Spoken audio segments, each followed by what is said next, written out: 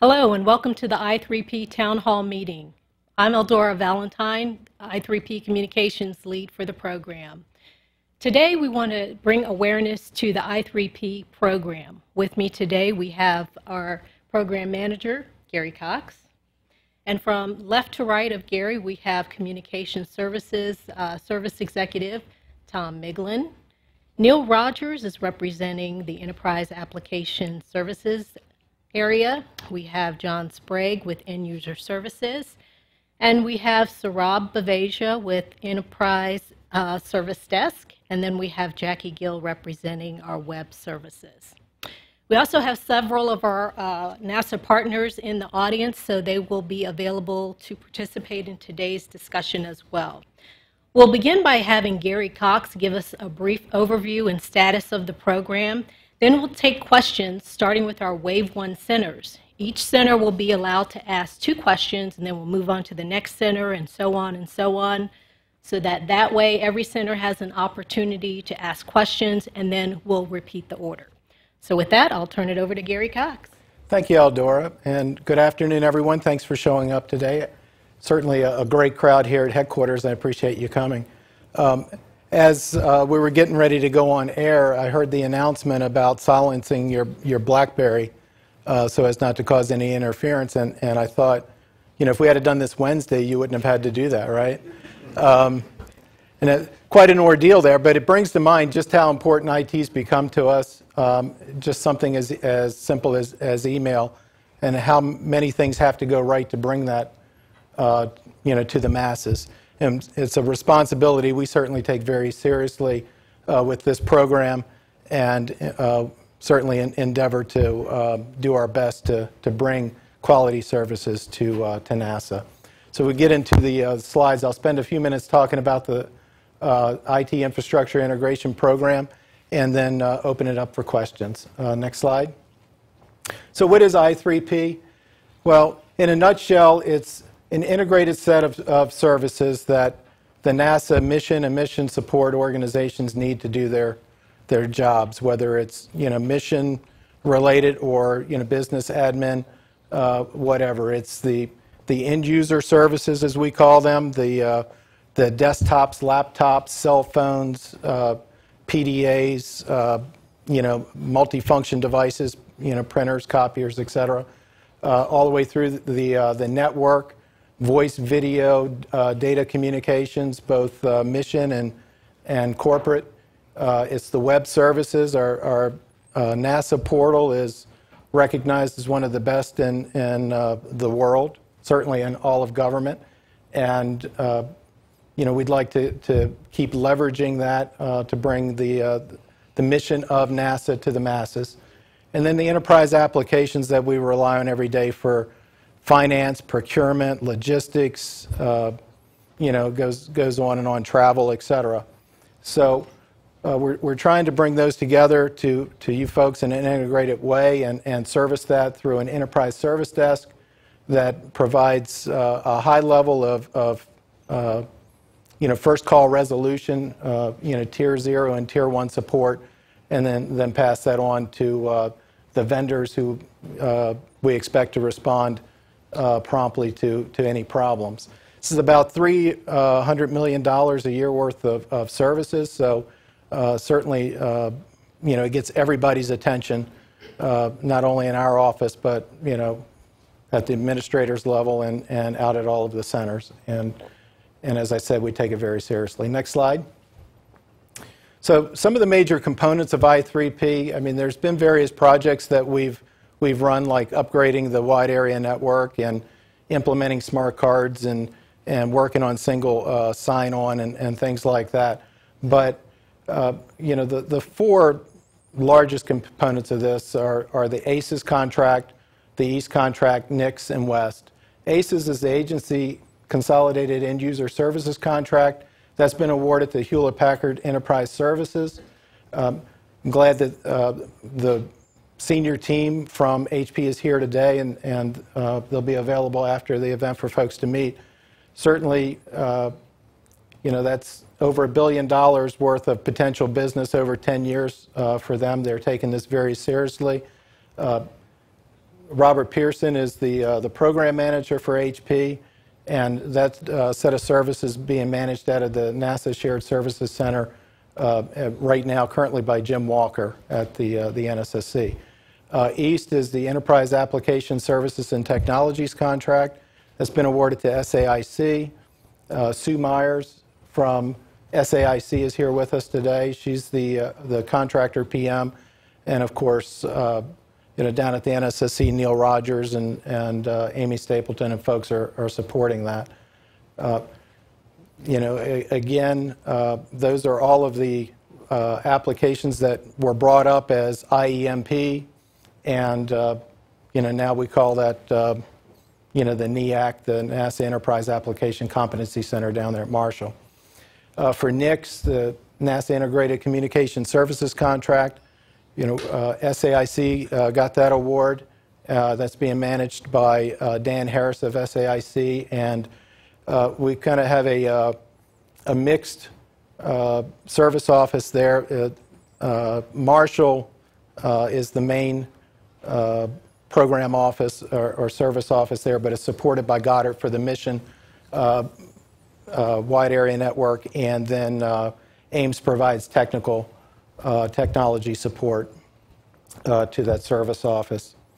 Uh, For West, uh, you know, I had a better story uh, last week. This week, the story is uh, we had to cancel that procurement.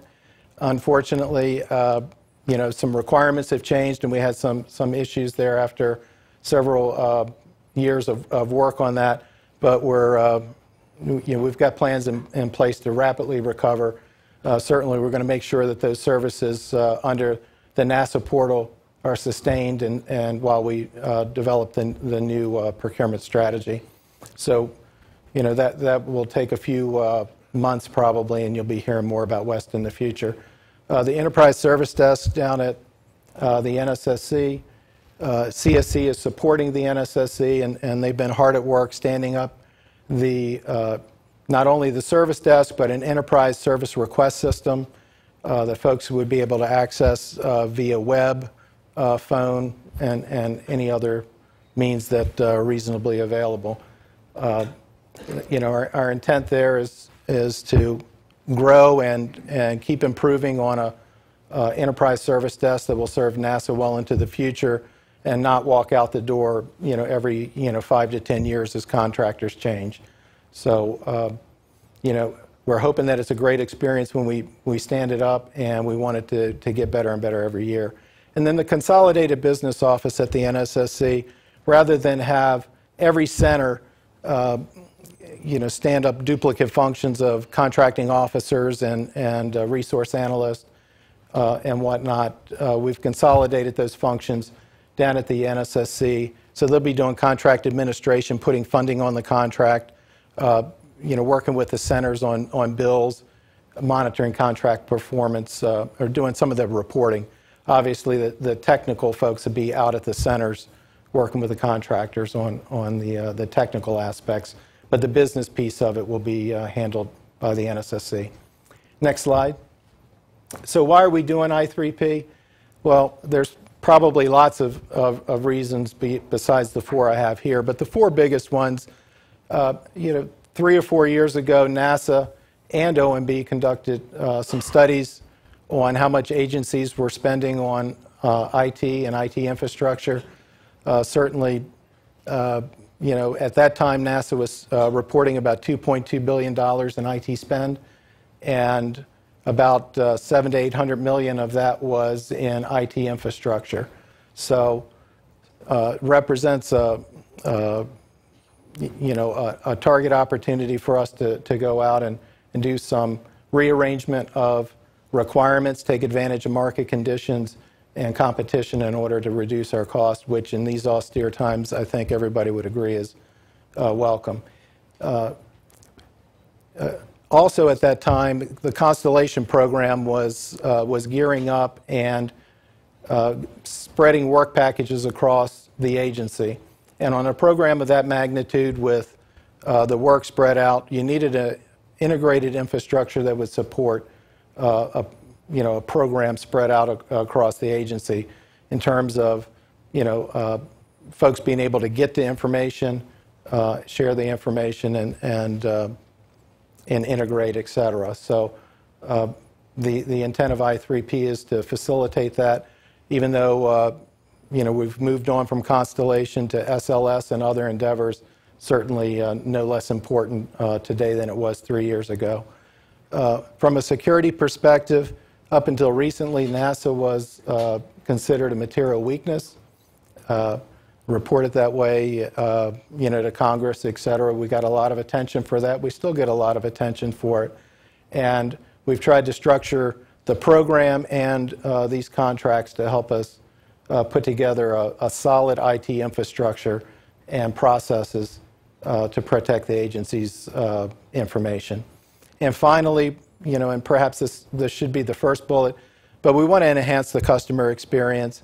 Uh, you know, I'm as frustrated as anyone you know, when you come in in the morning and it takes you 20 minutes to fire up the computer and get your email downloaded, and that's probably if you're lucky.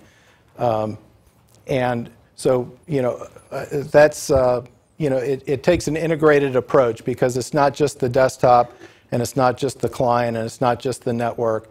It's, you know, the combination of all of the components that lead to, you know, these, uh, these experiences like the, uh, the, you know, calendar problems that a lot of people are experiencing. And so uh, over the course of, you know, the next year or 10 years or however long it takes, we're going to uh, improve that customer experience.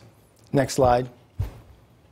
So, uh, you know, there's probably uh, not enough time and enough slides to, to fully describe what it means to you, so I'll just try to touch on some of the big things. Relative to ACES, we've been in uh, a mode of suspension of the, the refreshes uh, for the hardware for quite some time as Odin was ending and we knew the new contract was coming. And so at the very least, desktop refreshes are going to resume. Now, I'm sure the, the question that everybody, the first question that would probably be asked, unless I, I head it off, is when is that going to happen and, and, and uh, how rapid is, is the deployment uh, going to be? And all I can say at this time is we're, uh, NASA and HP are working uh, together to try to uh, put together a solid schedule and, uh, you know, not only for when we're going to start doing the refreshes, but uh, you know how swiftly they'll uh, they'll be undertaken. And as soon as that information is available, you know we're going to get that out to the centers and, and, get it out to folks. But you, know you should probably at least plan on uh, you know when Odin ends and HP starts providing service at your center, it's going to be uh, on your existing Odin equipment. Uh, relative to NICS, uh, about half of the centers use Odin for their uh, network services as part of the, the seat at um, several centers. And terminology that we had to learn, you know, 10 to 12 years ago, like NADs and LAN A's and LAN B's and, and things like that to order services are, is going away. We're going to a, a much simpler uh, set of services, you know, like I need a network drop and uh, and you'll be getting that. So um, I think that's actually going to be uh, quite an improvement, but it's going to be an adjustment for some of the centers that have been operating differently for a while. Uh, for, for, West, uh, at, at some point we're going to uh, pull together a new contract. Uh, the, the biggest thing we need, need to do there is, is put a, a customer-friendly uh, content management system in place. The reason a lot of folks don't haven't migrated their, their web uh, public web uh, instances to the, uh, the portal is because of the content management system we currently have there. And, and so once we get a new contract in place and a new CMS and services that, that folks want, uh, we certainly expect to get a lot of the uh, public web content uh, out of the center environment and get it, get it into an enterprise managed in, environment that it will improve its exposure, the exposure of the information to the public, and as well as uh, security. Uh, for ESD, there's going to be one number to call. Now, you know, as we go through this transition, most centers are, are probably going to do things a little bit uh, differently. So uh, I, I, can't speak for any one particular center, but most likely here at headquarters, you know, we call help uh, H-E-L-P, and, uh, you know, we, we get the call tree, so for, uh, you know, IT, we'll hit the, uh, I think it's a one, and, and then, you know, it'll go through, but it's going to get routed to the uh, enterprise service desk at uh, the shared services center, and they're going to uh, do some triage on your, on your call, try to give you first call uh, resolution if possible. If not, they'll pass it down the line to the uh, appropriate vendor to, to fix your problem. And then with the consolidated business office, uh, I think the biggest thing the, the user community will see is just standard funding processes and reports on, you know, the usage uh, and charges for, for IT. So we're, we're trying to make that much simpler, and uh, we've been working some things with OMB and, and the Hill uh, and the Working Capital Fund, uh, you know, that we'll cross our fingers and, and hope go through that, that will significantly reduce the uh, level of effort required there. So we'll go to the next slide. So some of the uh, milestones, uh, the Consolidated Business Office actually uh, started up October 1st, and uh, the, uh, actually someone from the NSSC drove up to uh, the NEAC in Huntsville and picked up the boxes full of the uh, contract files and hauled them back, back down to the NSSC. So that transition uh, of the East contract to the uh, the consolidated business office has happened, and, and they'll be gearing up to, to start with the ACES uh, contract in November. Uh, we'll be uh, standing up the initial operating capability for the Enterprise Service Desk on November 1st in support of, ACES and, and uh, the base services under that. Um, certainly appreciate all of the, uh, the folks that have participated in the testing of the enterprise service desk and the service request system uh, thus far, and, and there's still some critical milestones we have to get through in operational readiness reviews, but uh, we, we expect everything to be um, at, at least at a sufficient level of operating capability on November 1st. Uh, for ACES, uh, Wave 1, uh, we're, do, we're doing this in three waves just because, you know, there's 45,000 uh, users there and multiple centers, and uh, trying to do it all at once would just be uh, too much. But wave one is Dryden, uh, Goddard, headquarters in Kennedy. Uh, they're going to start. HP is going to start services November 1st. That's when the Odin delivery order ends there. Um, then we're going to be picking up under the uh, the NICS contract the uh, local area networks at, at Ames and, and headquarters on December 1st uh, for the wave two of ACES, which is Glenn, Stennis, uh, the NSSC, and Marshall, uh, January 1st. Uh, uh, we're going to start service there. And then as well, they have um, their local area networks will be coming in, uh, transitioning to NICS at that time. And then with wave three, Ames, Langley, and, and JSC, they'll, be, they'll end their Odin service on March 1st, and HP will pick up services there. And um, and as well, NICS will pick up the, uh, the local area networks for uh, Langley and JSC at that time. So those are the milestones and just uh, you know some tidbits about the program. And I'd like to spend the rest of the, the time on uh, any questions that folks may have.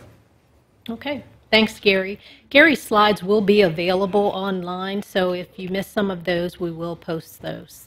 Um, we were scheduled to go to the Wave 1 centers first, but um, some of them are having some technical di difficulties. So we're going to go ahead and I believe we have a question coming in from Marshall. So go ahead, Marshall.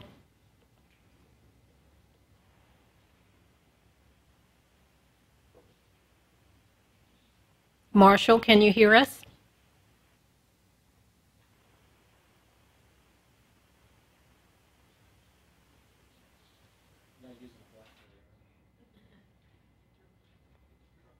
Okay. Okay. Uh, do we have someone at headquarters who would like to ask a question then? Well, I'll tell you what, why don't we go ahead and open it up with the first question. Um, some of these were sent in from the centers. Um, one of the questions that came in was who will pay for directly ordered multifunctional device items? So, uh, Gary, if uh, you want to answer that? Or the multi, multifunction devices falls under the, uh, the end user services realm in the ACES contract. So I'll let John Sprague uh, answer that one. Thanks, Gary. Um, i- If the camera can hit it, uh, there's an MFD right here in the room, multifunctional device. And the, and the question about it is who, who pays for that? The organization pays for it. Um, and you, and they're, they're positioned where you want in your organization. Um, I know that that's just a slight difference from, from how it was done before. Uh, but you know, we're, we're going from the Xerox contract to the new contract on, on ACES, and the MFDs will be wherever you want them to be. We did a little bit of uh, preliminary research at the centers and have an idea of where they, they need to be, uh, you know, better placement, things like that. And that's going to be uh, happening very soon at, at your center. Okay, thanks. We have Johnson Space Center online with the question. Go ahead, Johnson. Yes, I'm asking this on behalf of one of our customers. Will there be any changes to user mailbox size under ACES? Will there still be enhanced mailboxes like one gigabyte, same number, or more?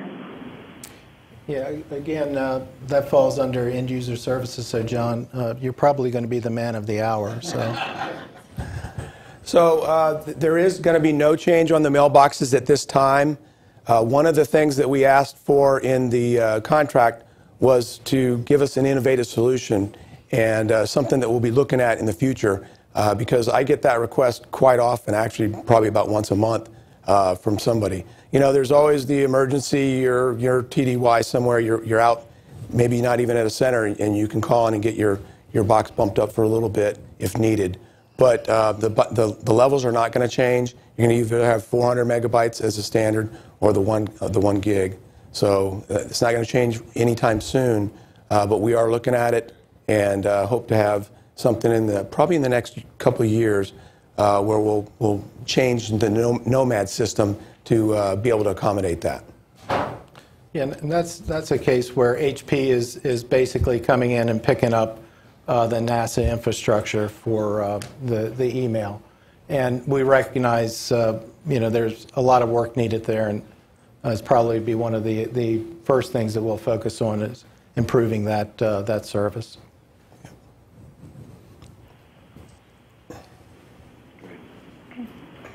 Thank you. Another question. The ACES seats will come with Windows 7. How will smart card pin resets be supported? So pin pin resets are going to be very similar to the way they're done now. Uh, you know, you, you can call call in and have it done. Uh, you know, just call the help desk and, and have a, a reset done. So there's going to be really no change in the way it's done. Okay. So what, I think what she was referring to then is uh, when we roll out Windows 7, when we start the, the refresh, um, if there's, I, I, I'm assuming that they'll be calling the, the ESD uh, with a, a reset request, and, the, and uh, ideally the ESD would be doing that password reset, right, Sarab? So if there's a knowledge article that's present that, that allows for the tier one tech to triage that issue, that is correct. At tier one, it would be triaged at that point. Um, However, if there's not a knowledge article, it would be passed forward. Okay, thanks. We have a couple of questions coming in from Goddard. Go ahead, Goddard. coming in. Coming in. Coming in. So we're still having some technical difficulties. Uh, Here's another question that came in. Um, What are East's future plans for mobile applications? Neil? So Neil, can you? Yeah, there's a lot of excitement in the agency about mobile applications and what they provide in terms of productivity, uh, leveraging these devices. So, uh, in the uh, Enterprise Application Service Office over the last year or so, you're probably familiar with some of the applications we've developed to kind of uh, explore this uh, this area, this capability. WebTads, mobile, NASA contacts, those are available today. Uh, what we're doing though is we've we've heard from a lot of uh, other people around the agency that there are apps that they want to develop, but they're looking for a uh, kind of a one-stop shop to be able to uh, deploy those applications, make them available for other folks to use. Uh, and also, uh, uh, if they were developing, could they get uh, have forums where they could share uh, code or, ask get questions answered, technical questions answered to enable them to do that. So what we're standing up, and we've really just turned this capability on this month in terms of a, a, a broader rollout, is apps.nasa.gov. And so this will be uh, a uh, capability, uh, app store for internally uh, developed, deployed applications. By internally, I mean uh, uh, for in the intent of consumption by or use of NASA, uh, civil servants, or contractors. Uh, so uh, you can go to apps.nasa.gov and, uh, and see the uh, applications that are deployed there. And I would encourage you to um, check that frequently. There will be a lot of changes that we hope to start rolling out uh, in collaborations with some centers that were already on their way to having those deployed. So uh, we're really excited about it, and, and hopefully this will provide a, a better uh, opportunity for folks to gain access to these on a number of different platforms. Okay. Yeah, Thanks, Neil. And, and, you know, while we have Neil up here, I, I want to just throw a plug out for the work that they did on single sign-on for Fed Traveler. I, I think uh, if you haven't used it yet, you, you need to, at the very least, you don't have to remember your username. Um, and so you can go right into Fed Traveler. You still need your PIN in order to approve documents, et cetera, but uh, it is a much improved experience. So um, thanks, Neil. Okay, I think we have another question coming in from Marshall. So how will the end user know who to call when they have a problem? Yeah, uh, well, that gets back to, to one number to call. It, it, it'll go to the enterprise service desk, and the enterprise service desk will route your call to, you know, whoever uh, is the appropriate person to, to fix it. They're going to try to help you. Um, at the very least, they'll triage and try to find out if it's a, a desktop issue or a network issue, application, et cetera, and um, they'll work with you to try to get that resolved and, and conduct uh, any warm handoffs from their help desk to the, uh, the tier two help desk in order to, uh, you know, make sure that you get back up to, uh, to speed quickly.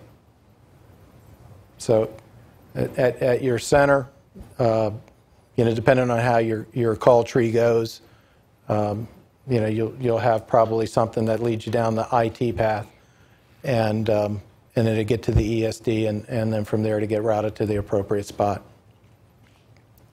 Okay, I think we have one more follow-up question from Marshall. Question.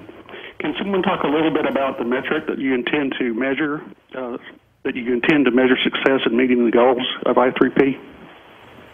Yeah, well, there's, uh, there's a myriad of metrics, and, and uh, you know, they, they go all the way down, you know, multiple levels, uh, you know, down to, you know, availability of service, customer satisfaction, um, you know, time to return to service, and, and, and that all the way up to um, uh, higher level things. Uh, so, I mean, we do have uh, uh, metrics.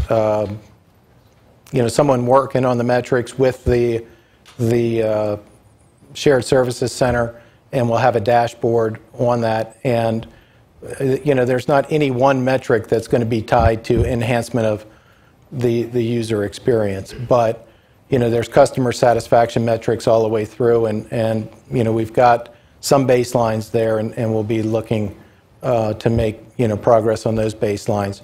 From a security perspective, uh, you know, obviously, security is always hard to, um, to get meaningful metrics on.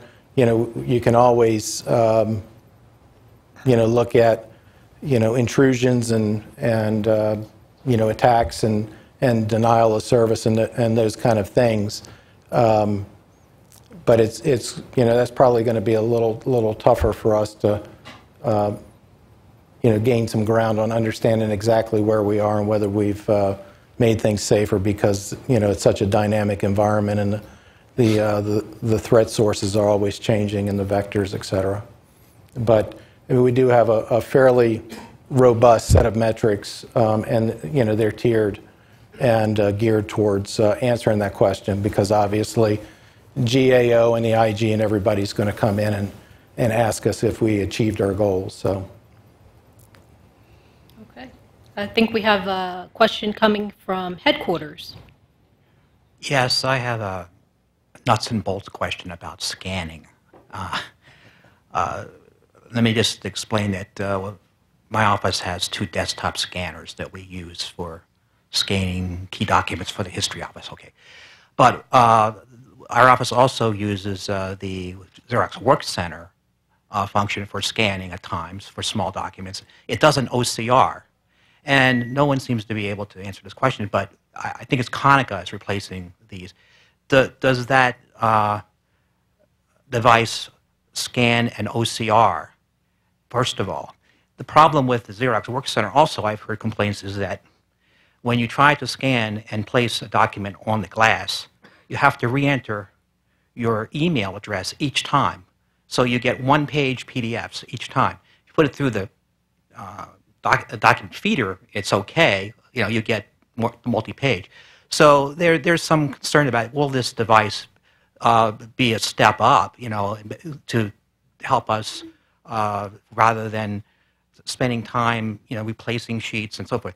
And the other thing is uh, our desktop scanners uh, uh, will no longer be on the Odin contract, although we purchased them. Will they disappear? Will they be taken away? Will, will we get service? Will we get support on those? And uh, so it's, you know, we're, we're trying to, to, it also gives a better quality scan than the Xerox WorkCentre. We're hoping that the Konica will be a better quality image as well, so that we can use both.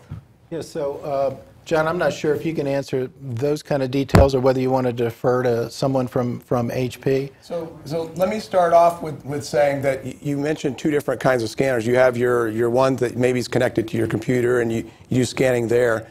And that's, that's fine. If that's an Odin-owned asset, then that's been purchased by, is going to be purchased by HP. So that's not going anywhere anytime soon. Um, I already mentioned the MFD that we have down here on the floor, and the OCR that you're talking about is a, is a very good question that I, that I don't personally know the uh, answer to. I don't know if any of our HP folks here know if the MFD can, can also do OCR with it. Um, I'm, I'm just not sure about that. No? Yeah. I, and I don't think, I, I know that uh, I, helped with the, the contract, that I don't remember uh, that little particular uh, part being put in. But that is something we can look at um, for the future. Uh, you know, we're, we're really, the, the way we wrote this contract, it's, it's set up for innovation. We, we really wrote it in every aspect that, uh, that we could think of. And, uh, you know, we have a very good rep from HP here, Steve Vetter, who's uh, in charge of their innovation area. So that's an area I'll talk to him about and see what we can do in the future. Yeah, I think, uh, you know, we got pretty much the whole HP team except for the person that knows about the MFDs and, and copiers. So uh, we'll have to make sure, you know, we, we get with you personally because, you know, it sounds like you have a very specialized requirement that we need to, to make sure we hit.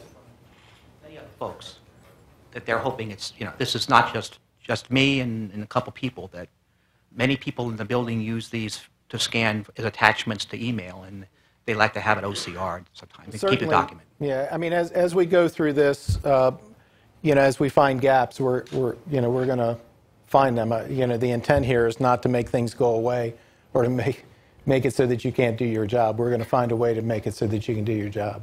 Okay, thank you very much. Okay, we have a couple of questions coming from uh, Stennis and NSSC are teamed up together, so uh, let's go to Stennis.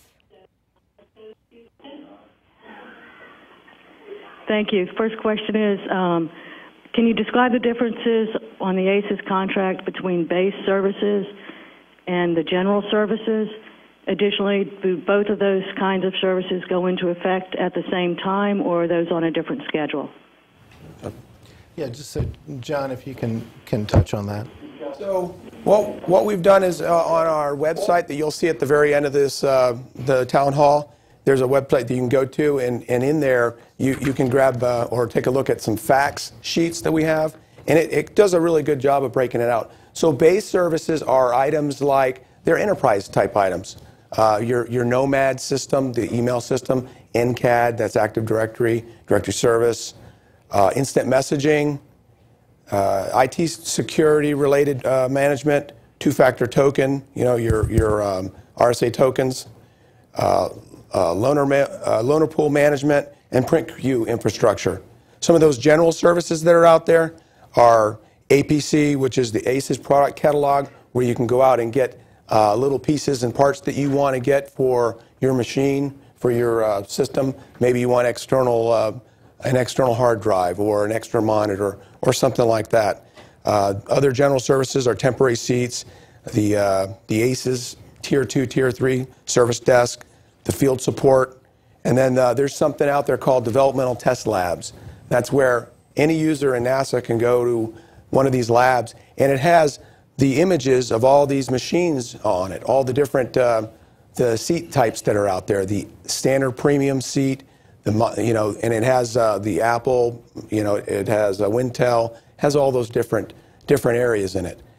So, So, John, uh, base services then, uh, all of those start on November 1st, right? correct.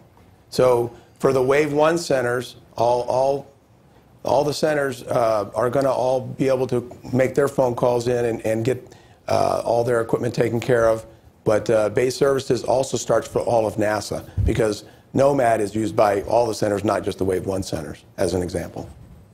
Yeah, so HP would be taking over the management of the email, uh, the NASA Active Directory, and uh, those other services That's uh, correct. there, okay. Okay. Any follow-on? No, not, a, not from um, Stennis. Okay. Oh, I'm sorry. We do have another one from Stennis. Go ahead, Stennis. Uh, we were wondering when uh, software training would be made available for the various uh, uh, uh, ACES softwares, like the operating systems or the productivity suites, and by what methods those courses would be made available. Yeah, again, that's um, John. So uh, another one of the uh, items that we have on the website is a uh, ACES software training guide. Uh, there's lots of different software user guides that are already available that you can just go down and look at and open them up and, and look through them. There's also some SATERN courses out there. They're already out there. Um, getting started with Windows 7, since Windows 7 wasn't fully implemented across all of NASA, um, some people are going to be getting Windows 7 for the first time. So that might be something that you'd want to check out. Uh, so just go to your normal SATERN and, and look for that. Uh, there's, you know, there's Word, Excel, PowerPoint, Outlook. Uh, there's, a, there's a whole slew of them on here. And, and for the Macs, too. Uh, Word for Mac 2011, getting started. And then uh, also something that the HP folks are going to be doing at all the centers is uh, lunch and learn, so that uh, you can go and, and actually get you know that hands-on, real up-close, personal type of uh, training and learn about one of the new systems. If there's if that's a new system to you, uh, you can get that kind of data you need. Okay. Thanks, John. Any, Okay, any, sorry, anyone from HP want to expand on that, or? Okay, all right. Okay. Let's uh, go to headquarters. We have another question from our center. Go ahead, headquarters. Good afternoon. Um, I was wondering if we could get clarification on a, uh, I, get, I think it's a, a governance approval that happened yesterday on the CIO having uh, funding decision-making authority for physical security and how that impacts the enterprise physical access control system that we use. Yeah, um, actually, I, I- I'm not aware of that, uh, that particular decision, so Linda Cureton, thank God, is in the audience.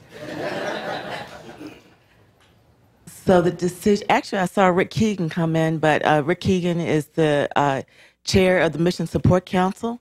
The Mission Support Council consists of uh, myself, the CFO, Chris Calise, um, our safety and mission assurance head, Terry Wilcutt, and Woodrow Whitlow, the head of the Mission Support Directorate chaired again, like I said, by Rick Keegan. And the decision that was made yesterday was not about control of funding. It was about the uh, how decisions are made in three phases. The first phase is about business systems.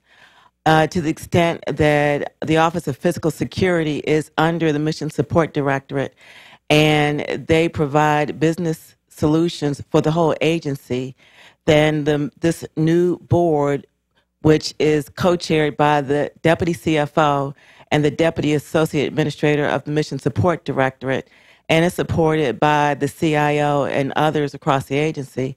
So this new board would have the purview of strategy and direction for business systems, which include physical security. So um, it's a not control of uh, budget, but it's influence.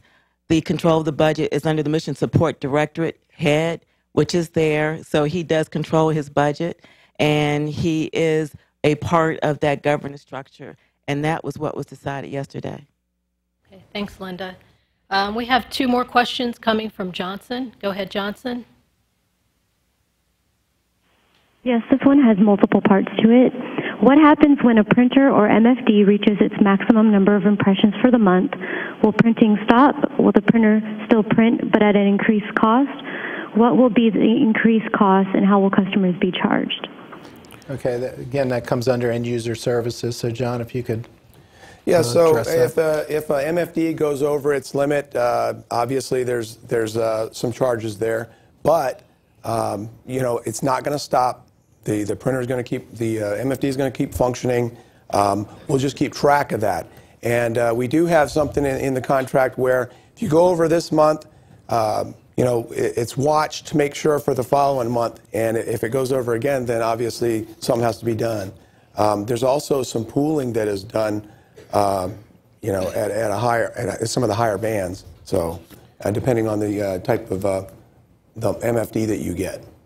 So, John, this, this is a case, if, if I remember correctly, where uh, the, the, print, uh, the copiers are networked, and so they're, they're being watched and, and monitored uh, constantly as far as the number of impressions. So uh, it's not like we, you know, get, um, you know, too far down the road and, and you know, folks are, are suddenly surprised with some kind of a, a bill. I, I, I imagine that once they hit, you know, that number of impressions, there's, there's going to be some intervention to just make sure folks are aware of what's going on and, and as you said, watching it, right? Yes, and if you go over your band, uh, you know, several months in a row, then then it'll be suggested that you, that you up the band because there's several bands that you can, you know, different amount of pre- impressions that you can do. Uh, as for cost, the organization actually pays for the MFD. The, it's a seat, just like uh, any of the other seats. So the organization would then uh, have to pay that extra cost. Okay, and that's only the first part, I guess, of the question. Yeah, there's another thank you. question. Yeah. How do we get seats delivered to people who are remotely located or are not at a center? Uh, John? That, that's a good question. Uh, we've been working with the uh, HP folks. They're, they're very well aware that we have seats uh, up in New York at the, the GIS, the GISS facility, um, and, and many other facilities, uh, White Sands and, and other places like that. And uh, in those cases, they're working uh, to either ship those out and have somebody out there to, to meet with them, or uh, they're working it in, in other ways. But they are making sure that all our users out there do get their machines. Uh, if you have a machine now, you're going to have it in the future. And uh, you know, over time, we're expecting to pick up even more of those seats because this contract was written to be able to, to do way more than uh, we've been able to do in the past. You're able to get the kind of seats that you want. So, um, you know, I have full confidence HP is going to get the machine out to wherever that site is. Yeah, and, and I think beyond, beyond that, um, you know, HP has a presence in almost every state of the, uh, the country of some form or function. And, you know, they have endeavored, if you're on travel to, you know, Idaho, and you have a problem with your computer, you know, they'll find a way to get somebody out to, to you to fix, uh, fix your computer. So I think, you know, they're very committed to um, customer service, and, um, and, I, and I think they have the infrastructure to, to support that no matter uh, where we are. Maybe even Hawaii, I don't know. That would, that would be nice. I'd like to take that trip just to Yeah, find out. I'll go out there. I'll take care of that one. Okay. Okay. We have two questions coming from Goddard. Go ahead, Goddard. Uh, this question is for John. The, the premise of the contract was everyone was going to receive new seats. And of course, last week we reached an agreement with for HP to acquire all of them seats. That's mean now we're doing a refresh schedule. So the question for you, and it, some users might want to get a new seat, even though they are not due for refresh yet. will they be able to do so? All right, uh, Doctor, I, I know uh, we're, we are getting, uh, we are negotiating right now and, and are uh, very close to being able to finish up with uh, what's going on with the, uh, the Odin seats. So, so, so is he, is he, is he asking about an early refresh?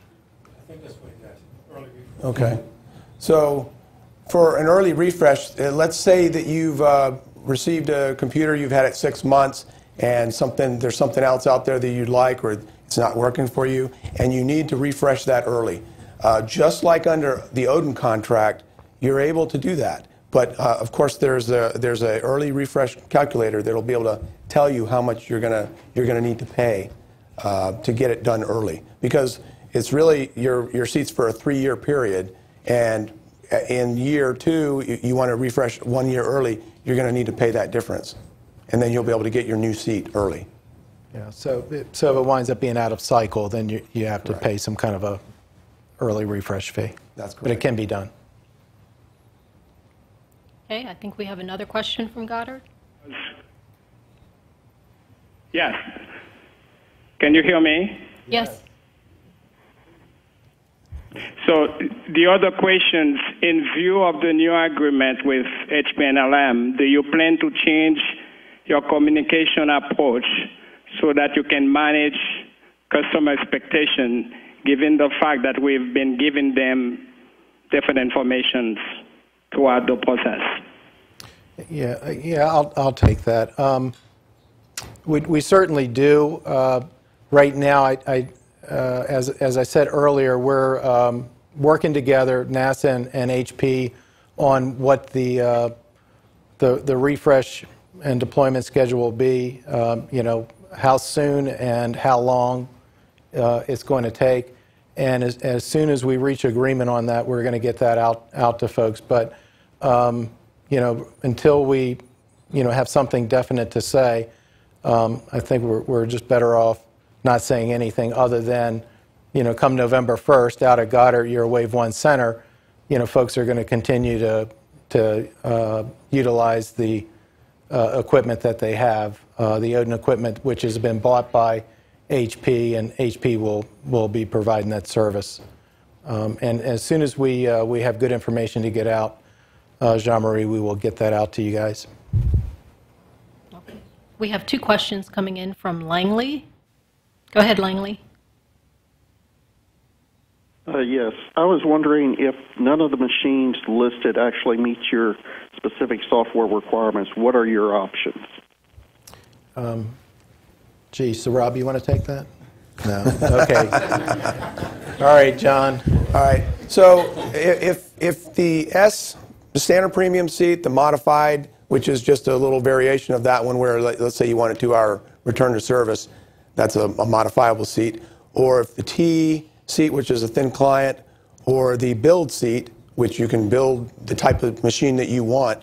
If none of those work for you, then there's also the X build, and it's not a seat, but it's an ability for you to go out and get a, a computer uh, you know, a computer that, that you want to get. Uh, maybe there's something brand new out on the market that does exactly, has all the specs for exactly what you want to do on some of your research or, or some of those kind of things that you're, you're doing for your, your job. Um, the X build, not a seat, uh, gives you that ability. You can go out and just uh, purchase that. Uh, now, when you do that, you got to you also remember there's a sysadmin that needs to go with it. So the contract also has that ability. Uh, you know, if you're if you're buying 100 of those or 200 of those, then it makes a lot of sense to get a sysadmin support to be able to make sure you're doing all the patching and uh, keeping the security settings up. Uh, you know, if you're buying one, that makes it a little more difficult. It still has to fall under some security plan to make sure that it gets its updates and it's following all the standards. I think there's another question from Langley.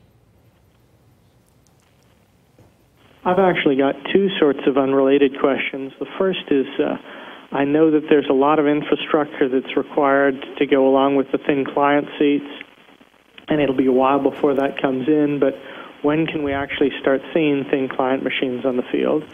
And then my second question is um, now with the new NICS contract, are we going to have any chance of getting upgraded performance between centers? Because we regularly send very large files off to NAS that can take a day or two to transfer and then have to get them back. And it would be really nice if we had a bit more performance going out there. Thank you. So let me take the first one. The uh, T seat, the thin client seat, which is just a, uh, if, if, you're not familiar with it, it's just a, a, monitor, a mouse, and a keyboard and a network appliance where it goes back to a server, is being worked right now. It, um, they're, they're, the HP folks are working very hard on it. We have an a, a IPT set up, a, in, in an integrated process team that is working to get that on, on board. I know that there's been a lot of work on it so far, but it's not ready as, as you indicated. Um, I got uh, Noel Salvanero here in the audience, and uh, I think it might be a good idea to just get a, a quick update on where we are with the TC. Thank you. Um, as John indicated, we are still certifying the infrastructure and also um, performing the necessary testing for um, compliance with the security plan. And we anticipate that the T seats will be available um, for order. They're available for order now, and that we'll be seeing those um, deploying into the field um, in the November timeframe. Thanks, Noel. Yeah, so the second part of the question, um, Tom, I, I, don't know if uh, you can address, you know, any work that's uh, planned or in progress on uh, the, the network side and, and uh, especially the transfer of data between centers?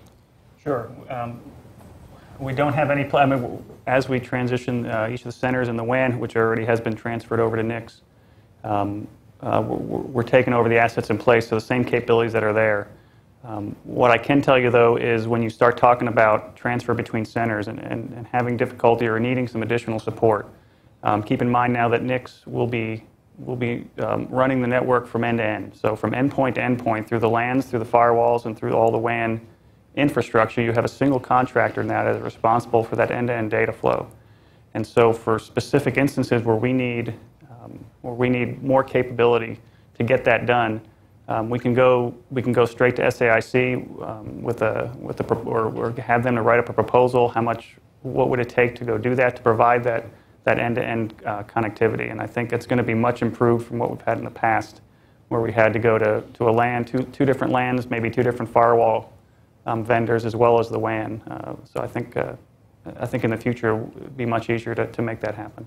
And I think built into the NICS contract is some innovation um, capability or, or uh, service, right? And, and so this might be an area where um, you know, we utilize that, um, I don't know whether it's dollars or effort or, or how that's structured, but anyhow, I mean, we could, we could point folks to these types of problems and, and they could come up with and solutions. And Gary's right. It, it was uh, specifically built into the contract for constant innovation uh, on the network side from, uh, from the vendor and, and as well as on the civil servant side, working hand in hand with the vendor uh, to evolve the network and, and to to make sure that we are really meeting the needs uh, of the customers now and, in the future. Um, so yeah, we're, we want to keep tied into that and make sure that we, uh, that we do that. Yeah, I mean, what's, what's important to note is, as you said, SAIC is going to be coming in and taking the environment over, you know, as it is, and then, you know, progressively be going through and, and looking at the choke points and, and figuring out ways to, uh, to improve the network to, to meet the mission requirements.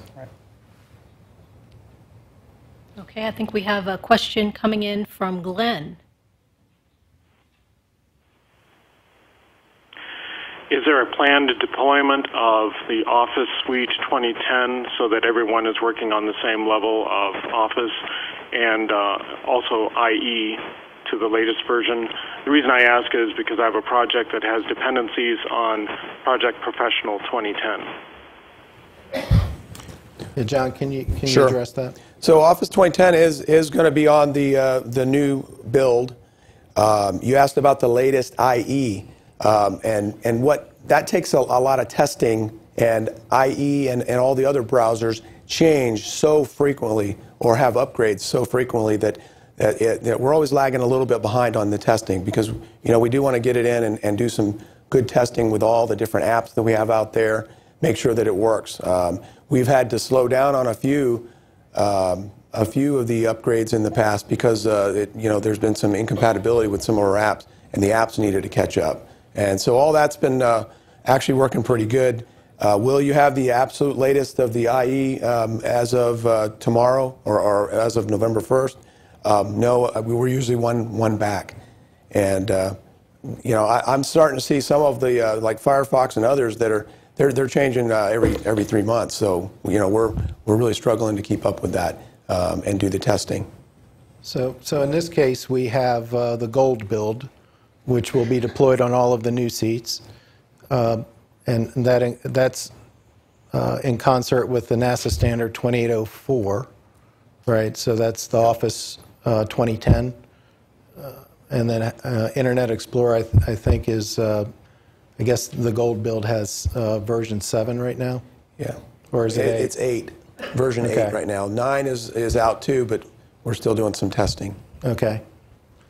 So th- that's what will be deployed now. Of course, we have, you know, a lot of uh, existing seats that don't have, uh, you know, that level of, of software. So uh, it's going to take us a little while to, to get to the point where everybody is on uh, this, the same oper- well, the same operating system, same office suite, et cetera. That's true. Jerry, can I add? Uh, I mean, part of the, the, the dilemma we face is, is that we're kind of uh, having to mediate with also our commercial off-the-shelf vendors, uh, where we, you know, we're, we've gone to a, a COTS model for our enterprise applications. We don't develop our own like we used to uh, in the in the mainframe days. So we're uh, watching the the uh, uh, the Firefox and the Internet Explorers, as John said, they're more agile than they used to be. They're moving uh, more quickly. They're out trying to outflank each other. On the other side of that spectrum, we've got our commercial off-the-shelf vendors, SAPs, CompuSearches, others, Fed Travelers, that we're trying to bring along as well. So it's, it's a real dilemma, and especially as the as the uh, uh, as the as the speed, the throughput on these uh, browser versions have, has been picking up as of late. It's tougher for us to, to make sure that we keep the group together, keep the enterprise applications together, and inter- interoperable with each other. So I will say, to, to, to, to reinforce what John said, it's becoming a tougher job, and especially when the users want to proceed uh, more quickly as well. So just, just to kind of let you know what's going on behind the scenes and trying to make this all work together and try to be more responsive is, in the same time, is a tough one. Yeah, and, and the, uh, the the folks out at Glenn actually are, are pretty uh, heavily involved in, in helping us with some of that testing. The uh, ETADS, Emerging Technology and Desktop Standards, Group, uh, led by Tony Faka. Um, I think they, they do a good job of trying to balance out, you know, how fast we move versus, you know, what it breaks uh, when we get there. And, and it's not, uh, you know, it's not simple. Um, but, uh, you know, it's a, it's a delicate dance that we've been doing for several years now. We- We update our standards twice a year, and, and just of late, I'm having to even do them every three months. Uh, I can't wait six months to get the next standard out, unfortunately, with how quick everything's moving. Okay, I think we have another question coming from JSC.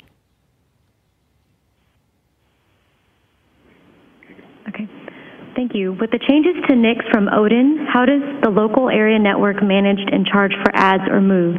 Was LAN A, B, et cetera under Odin? What is it now? Yeah, this is uh, actually a great, great question for Tom or some of his support team here. Can't, can't John answer this question?